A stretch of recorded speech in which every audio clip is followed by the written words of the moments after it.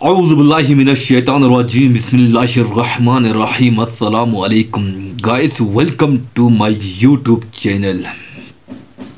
तारिक मकसूद साहब के एक वीडियो के साथ आप लोगों की खदमत में हाजिर हुआ हूँ ये वीडियो इतना ही इंटरेस्ट है इतना इंटरेस्ट है कि आप अगर इस वीडियो को सही तरह सुनकर अगर आप अमल करें तो कामयाबी तेरी पाँव चूमेगा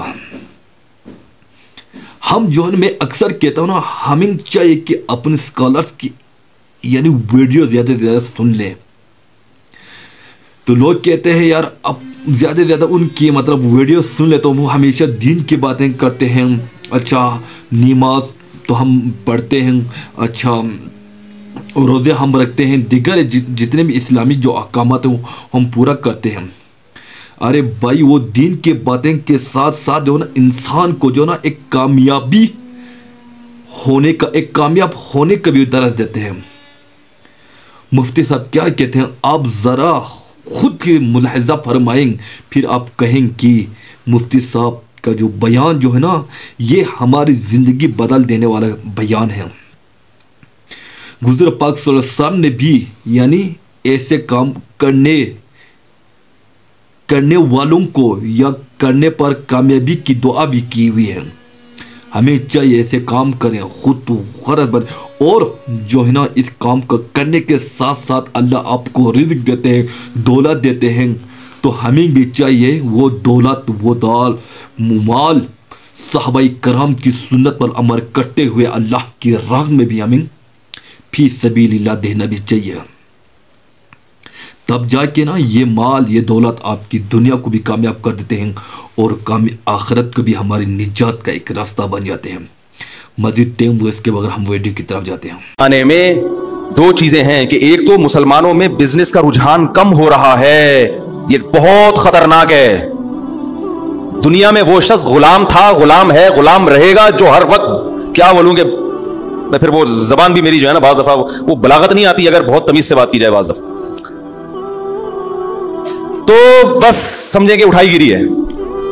हर वक्त बॉस की मक्खन और जनाब वो हर वक्त जो ऑफिसों का, दफ्तरों का माहौल है, आप देखें ना जाके क्या है। सोच ही नहीं बढ़ती इंसान की। हमारे नबी ने तिजारत की। हज़रत उस्मान क्या थे? बोलो भाई, ताजिर थे।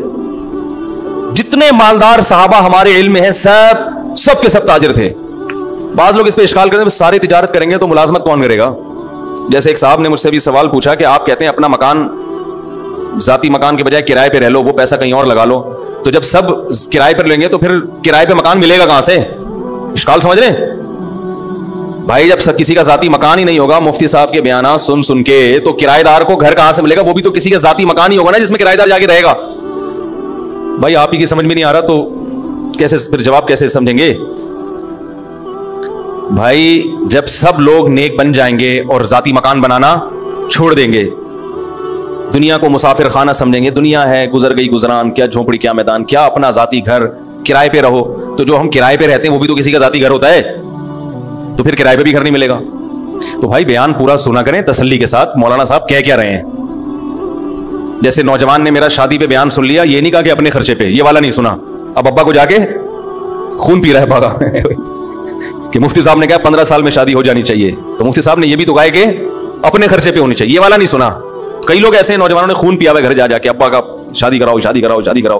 अब्बा कह रहे अब्बा तो वैसे किसी काम का नहीं है बहू भी मेरे खाते में लाके डाल रहे हैं। फिर सारे पोते नवासे भी मेरे खाते में लाके डालेगा। मैं कोई कोलूगा बैल समझा हुआ तूने मुझे।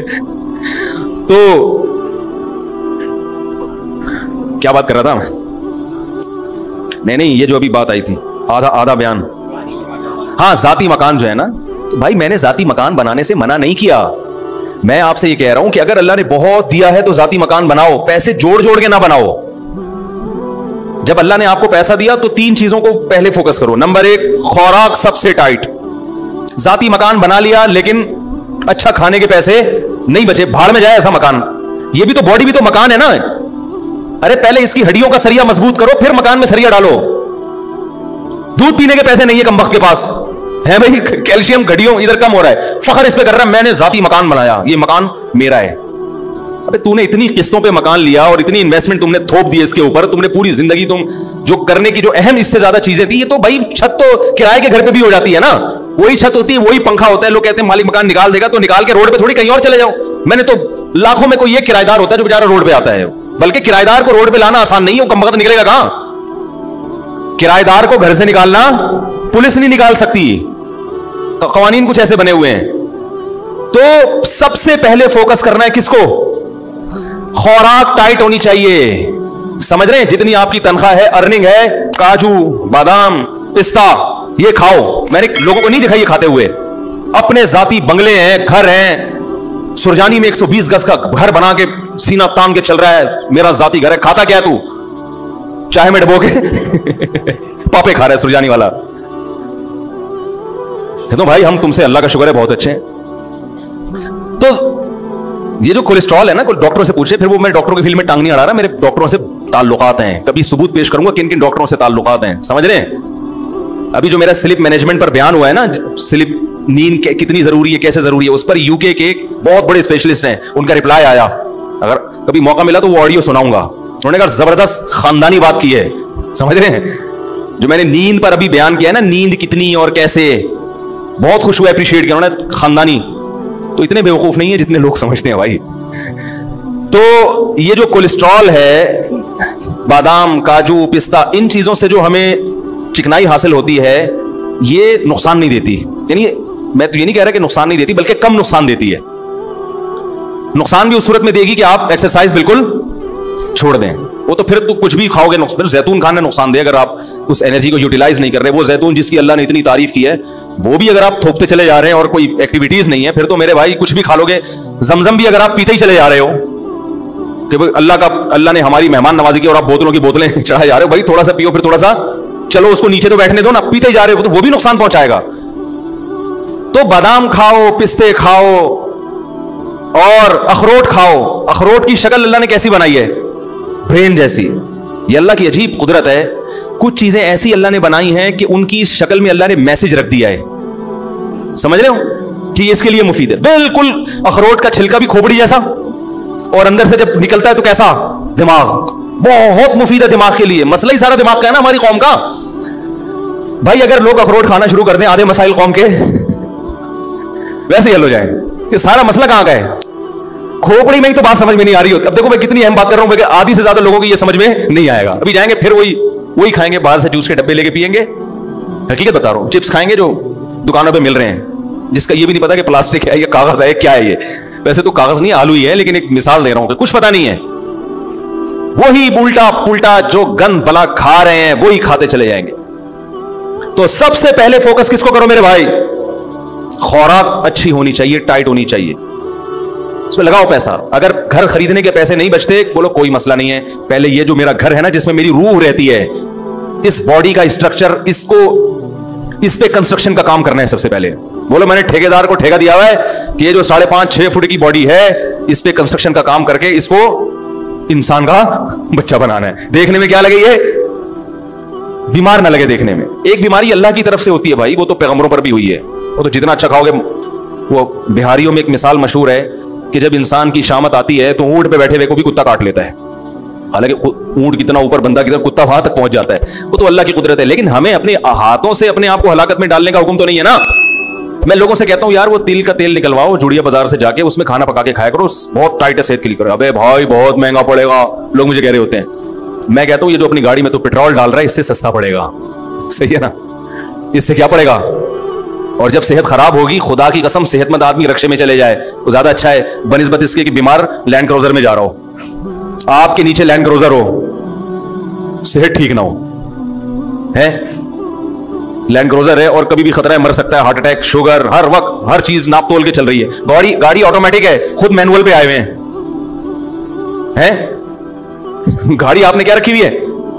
ऑटोमेटिक खुद किस पे है? खुद मैनुअल शुगर लेवल कंट्रोल इतनी खानी है, डॉक्टर ने कहा फिर चेक करनी है कि नहीं है? तो गाड़ी मैनुअल हो खुद को, जो अल्लाह ने हमें ऑटोमेटिक बनाया है, हमारी बॉडी शुगर लेवल को खुद ही कंट्रोल करती है कि नहीं करती?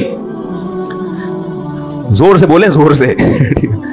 भाई, जब तक शुगर की बीमारी नहीं होती शुगर लेवल खुद ही कंट्रोल होता है। जब तक कोलेस्ट्रॉल की बीमारी ना हो कोलेस्ट्रॉल लेवल भी बॉडी खुद ही, देखो, जवान आदमी गंद वाला भी खाता रहे कोलेस्ट्रॉल लेवल फिर भी कंट्रोल में रहता है ना?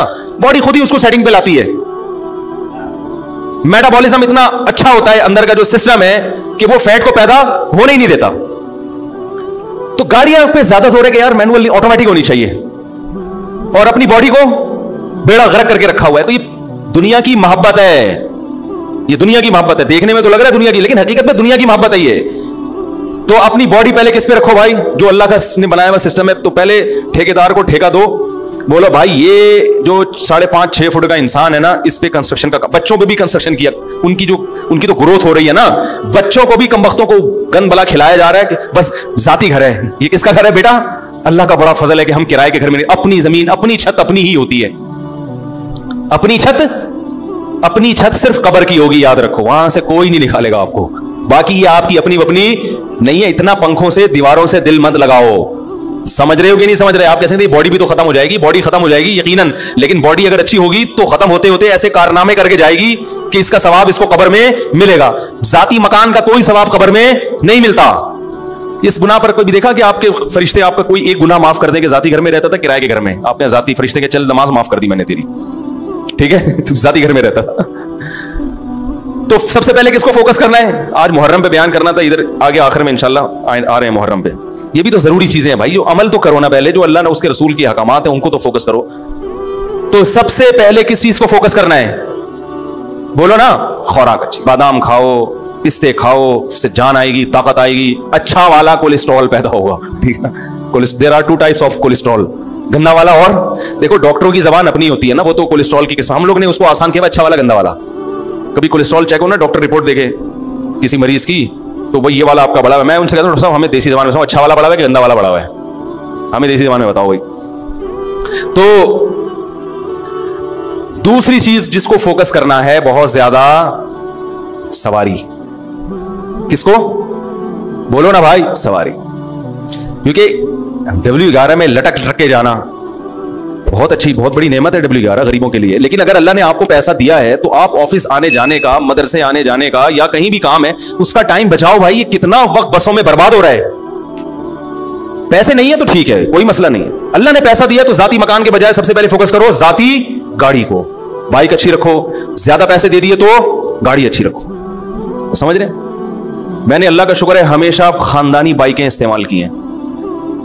जीटीओ वन टू फाइव उसके बाद पहले होंडा वन टू फाइव पे आया, क्योंकि इससे अच्छी बाइकें हमारे यहाँ, वो फिर बहुत ही हैवी हो जाती हैं, उससे बेहतर फिर आदमी गाड़ी ले ले। उसके बाद फिर G T O one two five Kawasaki नाम सुना होगा आजकल मार्केट में? है नहीं।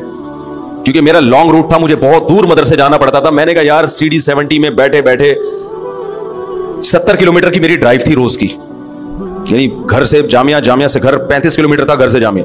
तो भाई, उसमें आदमी जाए तो तमीज से यार तो मज़ा तो आए जाने में। तो अच्छी बात लोग मुझे देखते थे इसको मौलवी के शौक देखो। मैंने कहा, हम जिस मौलवी से बैठते हैं, उसके शौक देखोगे तो ये शौक भूल जाओगे। क्योंकि हम जिस बुज़ुर्ग से बैठ थे, उनका भी जाति घर नहीं था। गाड़ी उन्होंने कुवैत के शहजादे से खरीदी थी।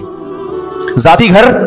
बोलो भाई, नहीं बना। किराए के घर में रहते थे। उन्होंने कहा, पहले गाड़ी तो टाइट हो जाए। वो किससे खरीदी थी? कुवैत के शहजादे से। ऐसी गाड़ी के आदमी बैठे तो बोले, यार, इससे उतरो नहीं बस। चलो बस। आप इतनी महँगी ना खरीदें। ठीक तो सवारी अच्छी, नबी सल्लल्लाहु अलैहि वसल्लम ने इरशाद फरमाया, तीन चीज़ों में नहुसत है। यानी वो बुरी निकल आए तो ज़िंदगी बर्बाद। बीवी, घर और सवारी। घर में नहुसत का क्या मतलब ही बताता हूँ। ये तीन चीज़ें खराब निकल आए ना तो आदमी की ऐसी की सवारी अच्छी नहीं है।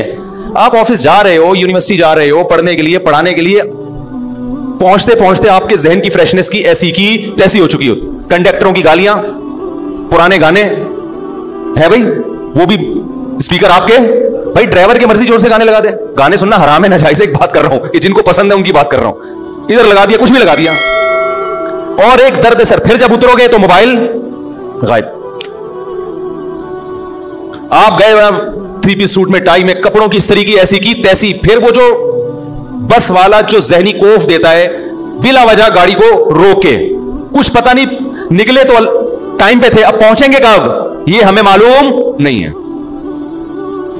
भर गई तो चला लेगा, नहीं भरी तो वही क्यामत तक खड़ा रहेगा वहीं पे। वो कहेगा, मैं क्यों चलाऊं? मैं खाली बस के लिए थोड़ी मैं मैं बिज़नेस है मेरा ये, मैं खाली बसों को लाने जाने के लिए थोड़ी ड्राइवर बनाऊँ मैं। एक जहनी कोफ दस मिनट का काम तीन घंटे में जाके होता है। लेकिन लोग कह रहे हैं, मेरा जाति घर है। जाति? जाति घर है मेरा। तो इतनी टेंशन तुम रोज ले रहे हो, रोज। तो दूसरे नंबर पे पैसा किस चीज़ पे खर्च करना है भाई? और पहले नंबर पे जो चीज़ बयान करनी थी वो मैंने की नहीं, इसलिए उसकी ज़रूरत हर एक को होती नहीं है। जैसे हदीस में आया अच्छी बीवी, अगर ज़्यादा पैसा खर्च करके अच्छा रिश्ता मिल रहा है, खर्च कर दो। अच्छे रिश्ते का इंकार बाज दफ़ा मेहर ज़्यादा बोल दिया लड़की वालों ने, अब आपके पास पैसे है नहीं, मेरा अब घर को बेचो फ़ौरन, पहली फुर्सत में, किराए पे आ जाओ। अच्छी बीवी मिल जाए, खुदा की कसम, ये अपने घर से करोड़ा गुना बोलते क्यों नहीं? बेहतर है वो जो आपको सुकून देगी, वो जाती घर में सुकून से करोड़ा गुना पे कितने लोग हैं जाती घर में रह रहे हैं? बेगम की वजह से डिप्रेशन के मरीज़। हार्ट अटैक हुआ, मर गए। नबी सल्लल्लाहु अलैहि वसल्लम ने फरमाया तुशय्यिबुनी क़ब्ल मशीब अल्लाह, ऐसी औरत से पनाह माँगता हूँ जो बुढ़ापे से पहले बूढ़ा कर दे। पता ये चला कि अल्लाह ने औरत को ये पावर दी है, ये ताकत दी है कि आपको बुढ़ापे की तभी उम्र के पहुँचने से पहले पहले क्या कर दे वो? ये अल्लाह ने सलाहियत दी है। खातन की तारीफ़ कर रहा हूँ मैं। बड़ी बड़ी अल्लाह ने खातन को सलाहियतें दी है, जिनमें एक सलाहियत ये भी है कि आपकी जवानी बुढ़ापे की उम्र साठ साल थी रिटायरमेंट की उम्र साठ साल थी, उसने चालीस साल में आपको रिटायरमेंट के काबिल बना दिया। मेंटली रिटायर कर दिया उसने आप। ऑफ़िस में जाके आपने इस्तीफा दे दिया, भाई, साठ साल तक मैं इंतज़ार बोलो ना भाई, नहीं कर सकता। तो इस चीज़ पे पैसा खर्च करो। समझ लो कि अपनी औलादों के लिए भी अच्छा रिश्ता मिलता है। रिलेशन बनता है भाई निकाह से। इस पे पैसा खर्च करो। करते ही नहीं अभी देख लो ना। वो मैंने पहले एक साहब के जिम्मे लगाया रिश्ते कराने का ना। उन्होंने दस हज़ार रुपए फ़ीस रखी। मेरा उसमें कोई वो नहीं था भाई। मैंने कहा आपकी मर्ज़ी फ्री में कराओ कमीशन लेके कराओ मेरी बला से ये आप जानो मेरे पास टाइम नहीं है रिश्ते कराने का। उन्होंने दस हज़ार रुपए रख दी फ़ीस। उन्होंने कहा अगर कोई एक्स्ट्रा ऑर्डिनरी अच्छा होगा तो एक लाख रुपए लूँगा। उनकी मर्ज़ी जैसे जो, जो चाहे करे वो। यानी उन्होंने कहा कि अगर किसी की शादी मैंने कराई ऐसी जगह जो बहुत ही अच्छा रिश्ता हुआ लड़की वालों से एक रुपया नहीं लिया उन्होंने। लड़के वालों से, कि अगर मैंने बहुत अच्छी जगह निकाह करा दिया तो पहले बताऊँगा कि यह रिश्ता है, लेकिन इसके मैं कितने लूँगा? एक लाख। तो उन्होंने जो मुझे रिपोर्ट पेश की ऐसे ऐसे कंजूस कम वक्त जिनकी आमदन है लाख रुपए कमा रहे हैं महाना, उन्होंने कहा, एक लाख हम देने के लिए तैयार। हालाँकि रिश्ता बहुत अच्छा उनको पसंद भी आ गया। तो मैंने इनसे कहा कि जो कम वक्त जिसके पास पैसे हो और उसको अच्छा रिश्ता मिल रहा हो और उस पर एक लाख रुपए खर्च करने के लिए तैयार नहीं है, वो इस काबिल नहीं है कि उसका, उसकी आप शादी कराएँ, वो बीवी की कदर, जो कम वक्त अभी हुसूल के लिए लाख रुपए खर्च नहीं कर रहा तो उसको रोकने के लिए कहाँ से खर्च करेगा? नहीं यार बात, मेरा ख्याल है यार, कंजूसों का इस दुनिया में कोई गुजारा नहीं है, याद रखो। उनकी किस्मत है कि वो पिटते रहे और मौत तक पिटते रहे वो। और अगर आपके पास नहीं है तो फिर मैं यार गिराओ अपना। तो दुनिया का उसूल है भाई। भाई, गोश्त खरीदने के पैसे नहीं है। तो गोश्त वाले को जाके मत बोलो कि कीमत कम करो। आप कद्दू खा लो। आप बोलो, अल्लाह ने मुझे गोश्त की सलाहियत नहीं रखी। कोई बात नहीं, दुनिया में बहुत से कद्दू खा के भी ज़िंदा रहते हैं। अबे, क्या हो गया? गलत कह रहा हूँ क्या मैं? लड़की का बाप तो आपसे मेहर ज़्यादा लेगा। उसको पता है मेरी बेटी की ये खसूसियत है एजुकेटेड है, पढ़ी लिखी है, खूबसूरत है, कम उम्र है। उसका हक है कि वो बोले, भाई, इसके मेहर में ज़्यादा लूँगा। उसका हक है। उसको तरगीब दी जा रही है सस्ते में। यानी देखें इतना मेहर इस्लाम में अच्छा नहीं है, पसंदीदा नहीं है। देखें एक्चुअली तो भाई, इस्लाम में सखावत भी तो है ना? गाड़ी पे कम तो इतने पैसे खर्च कर रहा है रक्षे पे इतने पैसे खर्च कर रहा है, खाने पीने पे इतने उड़ा देता है, तुझे अगर अच्छा रिश्ता मिल रहा है, इस बेस पे लड़की वाले तुझसे ज़्यादा मेहर मांग रहे हैं, या जो निकाह कराने वाले वो ज़्यादा कमीशन मांग रहा है तो इसमें कैसी कंजूसी भाई? आप बोलो यार, ये तो अल्लाह, आपका बहुत बड़ा एहसान, अगर मुझे अच्छी बीवी मिल गई और मेरी ज़िंदगी बन गई, एक लाख के बजाय मैं दो लाख रुपए दूँगा आपको। आप ऐसे बोलो, मैं ऐसे ही बोलता हूँ, तभी मेरी तीन हुई अलहमदुल्ला ऐसे थोड़ी हो गई बैठे बैठे मैंने किसी के जिम्मे लगाया, कोई अच्छा रिश्ता बताओ, उन्होंने कहा, ये रिश्ता है, लेकिन वो मेहर ज़्यादा मांग रहे मैंने कहा, उस डबल कर दो। इतनी जितनी इस्तात हो बाज जगह इंकार भी किया। मैंने कहा, भाई डबल तो कर दो, लेकिन फिर जो बच्चे पहले से हैं, पहले उनका हक है। उनको तो खिलाओ ना पहले। नहीं यारी तो रहने दें। ऐसे ही रहे, जैसे है ना। बस इस पे कुछ जाति मकान। मेरा कोई जाती मकान नहीं है। ना जाती प्रॉपर्टी है। बना भी सकता हूँ, अल्लाह बहुत दे दे तो बना लूँगा। मेरे नाम से मुमकिन है कोई कह गई फला प्रॉपर्टी आपके नाम से, वो फिर मुझसे अलग दिन में मिले तो मैं बताऊँगा उसकी क्या तो गाइस मुझे उम्मीद है कि आप लोगों ने वीडियो को शुरू से लेकर आखिर तक ज़रूर देखा होगा क्योंकि जो है ना, इंसान को एडियो ऐसे वीडियो देखना चाहिए जो आपकी तकदीर बदल दे, आपको सही तरह समझ में आ जाए कि ये मुलवी, ये ख़तीब, ये मुफ्ती, ये फजल अरबी क्या कहना चाहते हैं, क्या दर्द देना चाहते हैं। मैं हमेशा ही से एक बात, यानी कहते हुए आता हूँ, आ रहा हूँ कि जो ना हमें ज़्यादा से ज़्यादा अपने स्कॉलर्स का सुने, वो आपको दुनिया में भी कामयाब करने की एडवाइस करते हैं और आखिरत में भी यानी कामयाब होने की एक, यानी एडवाइस करते हैं। आज यानी मुफ्ती साहब जो है ना, कारोबार करने का दरस दे रहा था क्योंकि कहते हैं कि इस्लाम में कारोबार करने की रुझान कम हैं। क्यों? नबी करीम वसल्लम ने किससे अपनी ज़िंदगी शुरू की थी, एक कारोबार से की थी? और हुजूर पाक वसल्लम ने, यानी कारोबार करने वालों की कामयाबी के लिए खुदावंद करीम से दुआ भी की हुई है। तो दुनिया में जितने भी कामयाब लोग हैं सब ताजिर थे। एज वेल एज कि हमारे साहबा कराम जो है ना, मुख्तलिफ़ साहबा हैं, जो इस्लाम में, जो इस्लाम को मुख्तलिफ़ गुजवा गुजरब जंग में माली इमदाद क्या करते थे वो सब क्या थे? ताजिर थे। तो हमें इन साहबा कराम की भी सुन्नत पर अमल कर करने के साथ हमें साथ साथ हमें काम यानी कारोबार पर भी फोकस देना चाहिए। हम समझते हैं कि गवर्नमेंट मुला मुलाजिम ही हमारा फ़र्स्ट चॉइस होते हैं ना हमारे फ़र्स्ट चॉइस क्या हो, होना चाहिए? कारोबार होना चाहिए। और कारोबार एक फुल फुल फ्लश क्या है जॉब है नेक्स्ट भी इसी इसी तरह के इंफॉर्मेटिव वीडियोस के साथ अब